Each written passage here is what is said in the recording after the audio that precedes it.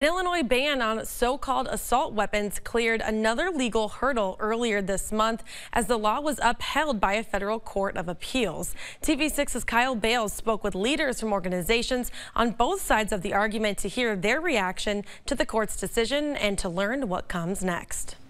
Yeah, Brianna. Now that law prohibits more than 170 semi-automatic firearms and magazines over certain capacities when it is set to go into effect in January.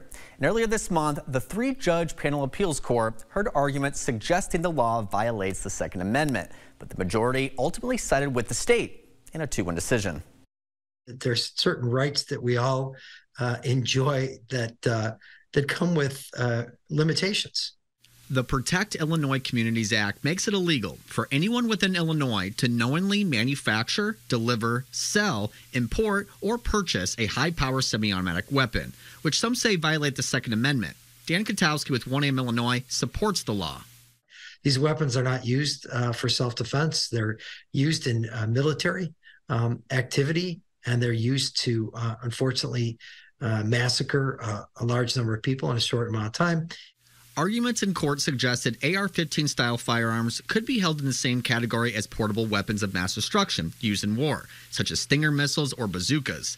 Dan Eldridge opposes the law and says there's a clear distinction between weapons of war and commonly owned guns in the U.S.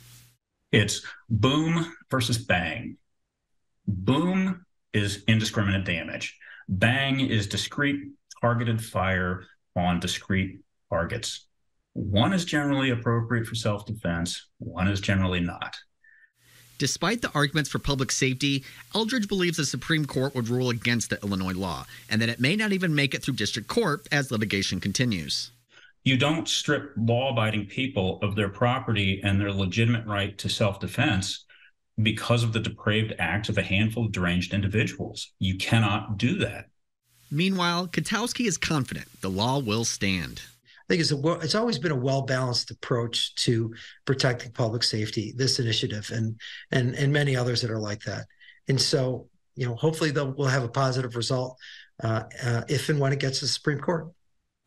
Now, in the, appeal, in the appeals court opinion, they said the decision was not a ruling on the constitutionality of the law or any of its ordinance. Rather, it was a decision on whether the arguments made against the law had merit going forward, in which the majority rejected allowing the Illinois law to stand for now.